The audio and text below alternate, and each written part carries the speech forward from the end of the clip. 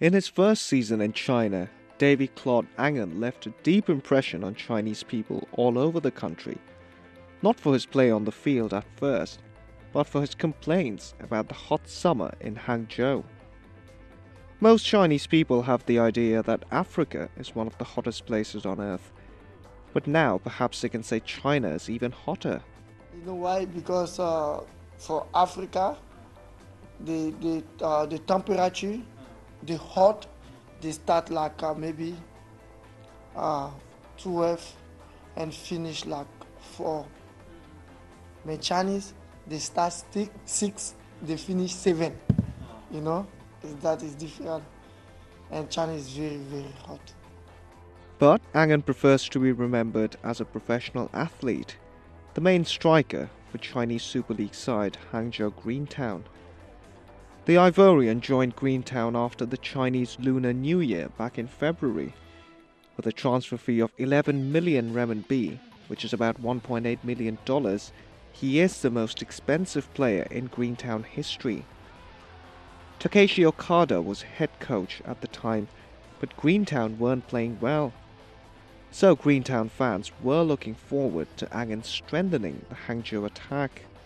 Angan was the third highest scorer in the Norwegian domestic league the previous season, and at 26 years of age, in the prime of his career. And although China was a strange land to him, the African born striker thought it was time for a change. I, because I stayed in Norway long time, you know, and I want to change. Uh, about I want to change uh, the league because uh, they know me for Norway.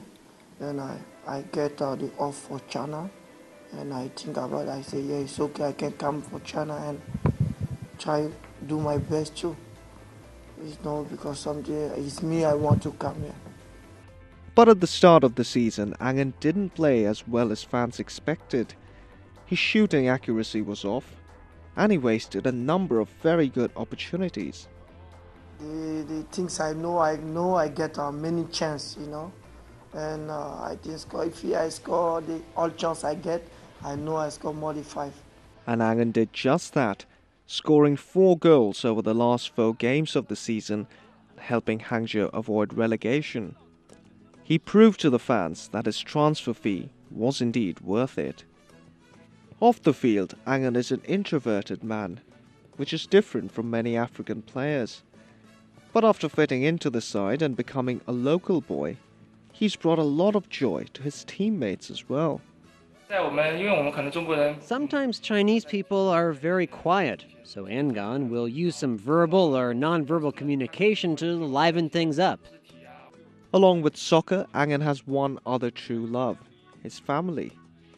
Spending time with his wife and two children is the most important thing to him besides playing the sport he loves. He always calls his wife after matches, and when he has a bad game, she helps him keep his head up. The time I go home, I disappoint and I talk her.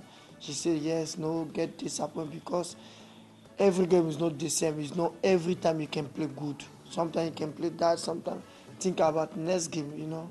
Okada is no longer the head coach at Hangzhou. The Japanese manager was the one who recommended Angan to Greentown and appreciated his game. Will Okada's resignation affect Angan's performance next season? Angan says it won't. I don't give up. It's sometimes it's difficult. It's like that. It's football. Sometimes you can do your best. Sometimes you can be difficult. You know. It's like uh, no before. I'm no. Every time I score, I score, I score, and I'm okay. Now I came here, and I just score. It's me now. I have to work very hard and show my best again. He has one year remaining on his contract with Greentown. He says he'll finish the contract first, play his best, and then consider his future. Right now, he's looking forward to his second season in the CSL. Because this year I'm not locking. I think maybe next year is working. Man, I want to stay here. Now I don't think about uh, what I want to. Now I think about Chinese. And for most soccer players, playing in Europe is the ultimate dream as well. And Angan is no different. Like maybe if I get chance again for go Europe, I did. I played UEFA. Now I want to play Champions League. That is why. So I have to do good year and maybe good team they come and buy me. He will probably leave China one day, and when he does, he hopes he's remembered not just for his comments about the heat, but simply as a good soccer player.